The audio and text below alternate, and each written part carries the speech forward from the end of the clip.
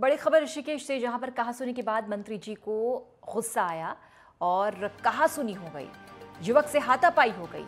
युवक की हालत गंभीर बताई जा रही है। सुरेंद्र नेगी नाम के युवक के साथ मारपिटाई हुई है और किसके साथ हुई है? मंत्री के साथ हुई। तस्वीरें पूरी घटनाक्रम को बयां कर रही हैं। मंत्री जी को इतना गुस्सा आया कि युवक की पिटाई कर दी। सुरेंद्र नेगी युवक का नाम बताया जा रहा है, जिसके साथ मारपिटाई हुई है। और मारपिटाई करने वाला कोई सामान्य शख्स नहीं है, बल्कि एक मंत्री है। ऋषिकेश में यह घटना सामने आई है। प्रेमचंद्र अग्रवाल। उन्होंने एक युवक को मारा। ये सीसीटीवी फुटेज है जिसमें मंत्री जी को इतना गुस्सा आ गया एक युवक के साथ उन्होंने मारपिटाई कर डाली।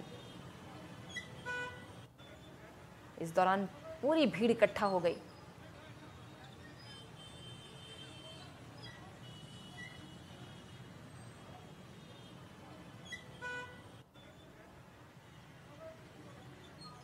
एक युवक को पीटते हुए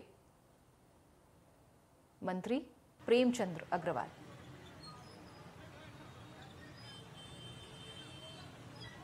पहले किसी बात को लेकर कहा सुनी हुई? युवक ने मंत्री जी को कुछ कहा, मंत्री जी ने पहले उसको मारा, उसके बाद जो शायद सुरक्षा गार्ड था, मंत्री जी का, वो पीटता ही चला गया युवक को। जमकर हंगामा हो गया इस दौरान। मंत्री जी भी मारते हुए नज़र आ रहे हैं उस युवक को। ये देखिए, पहले मंत्री जी ने एक चांटा मारा उस युवक को, और जब उसने बदतमीजी करनी रिएक्शन दिया तो जो पुलिसकर्मी, जो मंत्री जी की सुरक्षा में था, उसने मारपिटाई की, हाथापाई की। ज्ञानेंद्र तिवारी ज्ञानेंद्र पूरी कहानी जरा बताए पूरा माजरा क्या है? जी अपने सिक्योरिटी के साथ कहीं जा रहे थे और ऐसे में बताया जा रहा है कि सुरेंद्र सिंह नेगी नाम का आदमी आया और ईंट उनके ऊपर आने लगा, गाली गलौज करने लगा और हालाँकि मामले को देखते हुए सिक्योरिटी गार्ड ने उसे रोकने की कोशिश की।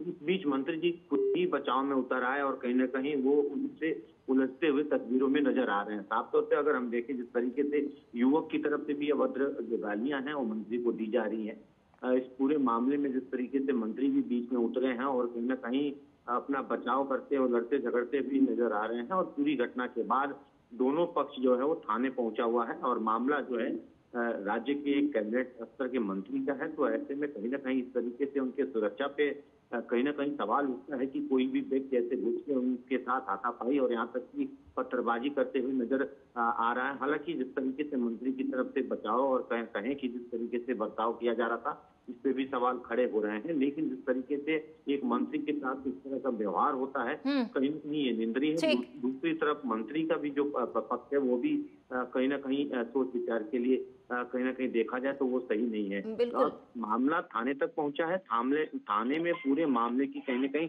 तहकीकात होती हुई नज़र आएगी। थाने की तरफ़ से पूरी जानकारी ली जाएगी आखिर ये सुरेंद्र सिंह नेगी व्यक्ति है कौन आखिर क्यों इस प्रकार की प्रवृत्ति कर रहा है इस पूरे मामले की जानने की जो कोशिश है वो की जा रही है जी।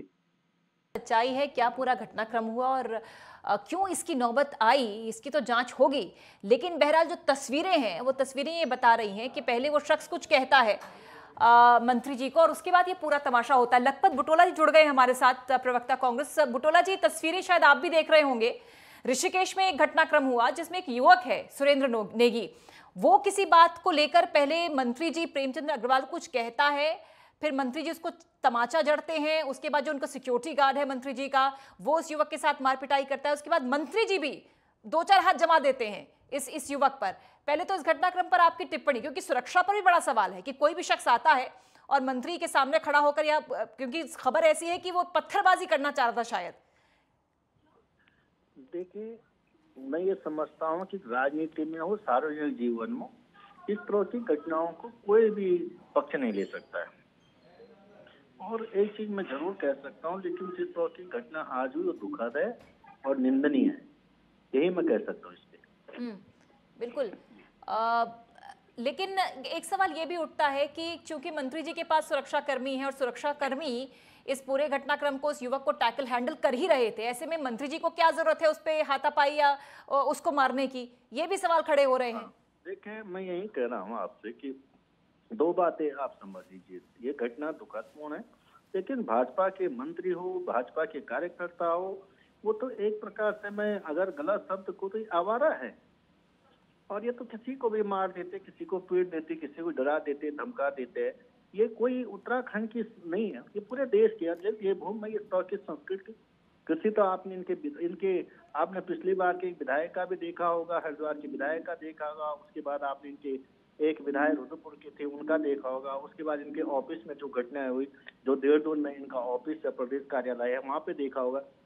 ये घटनाएँ लगातार भाजपा के विधायक हो, मंत्री हो, कार्यकर्ता हो, ये लगातार ये घटनाएँ पिछले पाँच छह साल से हो रही देवभूमि को भी, देवभूमि का जो एक मिजाज है उसको भी बिगाड़ा जा रहा है और उस मिजाज के प्रति जो लोगों की सोच है वो भी कहीं ना कहीं दूषित हो रही ठीक बुटोला जी। देवेंद्र जी भी जुड़ गए हैं प्रवक्ता बीजेपी। देवेंद्र जी पहले तो हम ये समझना चाहेंगे तस्वीरें आप तक भी पहुँच गई होंगी। मंत्री जी के सामने एक शख्स आता है वो कुछ कहता है उसके बाद मंत्री जी तमाचा जड़ते हैं उसके बाद वो भी बौखला जाता है मारपिटाई शुरू हो जाती है। इस दौरान मंत्री जी भी दो तीन चबाते लगाते हुए नज़र आ रहे हैं तस्वीरों में। ये पूरा घटनाक्रम क्या है? और बुटोला जी तो ये कह रहे हैं कि आप लोग खुद ही इतने आक्रामक हैं। ऐसी घटनाएँ होती हैं, आप मारपिटाई पर आप, आपके चाहे विधायक हो, चाहे मंत्री हो, आप लोग खुद ही मारपिटाई करना शुरू कर देते हैं। कांग्रेस की बात तो बाद में करूँगा। पहले मैं घटनाक्रम के बारे में थोड़ा सा जो जानकारी मुझे है, वो बताना चाहूँगा। अभी मंत्री जी ने मीडिया के सामने आकर पूरा घटनाक्रम बताया। वो एक इंटर कॉलेज के कार्यक्रम में जब जा रहे थे तो रास्ते में एक चिकित्सालय पड़ता है, वहाँ पर थोड़ा ट्रैफ़िक जैम था। और उनकी गाड़ी और दूसरा व्यक्ति जिसने हमला किया है उनकी गाड़ी में कुछ इंच का अंतर था। वो व्यक्ति वहाँ पर गालियाँ देने लगा पहले और मंत्री जी ने अपनी गाड़ी में जो बारिश भी थी तो एसी नहीं चलाया हुआ था, वो नहीं चलाते आमतौर पर तो उन्होंने अपने गाड़ी का शीशा नहीं चेक किया हुआ था। तो उसने आकर के पहले मंत्री जी के साइड में आकर के उनके साथ शब्द कहे और सीधा सीधा फिर हाथ छोड़ दिया। और उसके बाद जब सुरक्षा कर्मी ने उसको अलग करने का प्रयास किया तो वहाँ पर बात आगे बढ़ गई और फिर वो पत्थर उठाने के लिए दौड़ा जिससे कि मंत्री जी पर हमला कर सके। तो मंत्री जी का कुर्ता फट गया, उनके जो गले में जो भी उन्होंने पहना हुआ था, वो भी रह गया, सामान भी उनका गल, जेब का गिर गया या निकाल लिया जो भी स्थिति है, और उसने सुरक्षा कर्मी की भी जेब फाड़ दी वर्दी की तो ये अपने आप में एक बड़ी गंभीर मसला है कि मंत्री के ऊपर एक व्यक्ति हमला करता है और जैसा कि उसकी स्थानीय स्तर पर एक रेपुटेशन है, उसके बारे में जो बताया, मंत्री जी ने भी बताया इस बारे में उसको ब्लैक मिलर के नाम से जो स्थानीय लोग हैं वो जानते हैं। तो निश्चित तौर पर एक सुरक्षा कर्मी का अपना जो काम था उसने किया और जिस प्रकार से अपना गालियाँ दी है उसने तो उसमें उत्तेजना में मंत्री जी ने भी हाथ उठाया। ये अलग बात है लेकिन घटनाक्रम जिस प्रकार से हुआ है वो अपने आप में बहुत ही गलत हुआ है। हम्म। और उस व्यक्ति की हिम्मत देखिए कि जिस प्रकार से आकर के उसने मंत्री जी पर हमला करके कपड़ा कुर्ता फाड़ने और सुरक्षा कर्मी पर हमला करने का प्रयास करते तो गुंडागर्दी की इंतहा है। और जहाँ तक कांग्रेस का सवाल है तो कांग्रेस लोगों को थोड़ा सा अपना इतिहास वर्तमान भी और पिछला भी तो लेना चाहिए। ये लोग तो आपस में भी लड़ते रहते हैं सड़क पर भी लड़ते हैं। हम्म। इनके प्रदेश महामंत्री पर इनके कार्यकर्ता हमला कर देते हैं और सड़कों पर इनका जो तांडव रहता है वो तो हमने अक्सर समय पर देखा ही देखा है। तो इसलिए हम उस पर राजनीति में मैं नहीं जाना चाहता लेकिन फ़िलहाल जो स्थिति हुई है मैंने आपके सामने रखी है। ठीक। धन्यवाद आपका देवेंद्र जी। लगभग पटोला जी आपका बहुत बहुत शुक्रिया जुड़ने के लिए। तस्वीरें ऋषिकेश की हैं ये घटनाक्रम हुआ जब मंत्री के काफिले के सामने एक शख्स आ गया। कहा सुनी हुई पत्थरबाजी शुरू कर, करना चाहता था मारपिटाई हुई और ये पूरा घटनाक्रम इस समय ऋषिकेश का।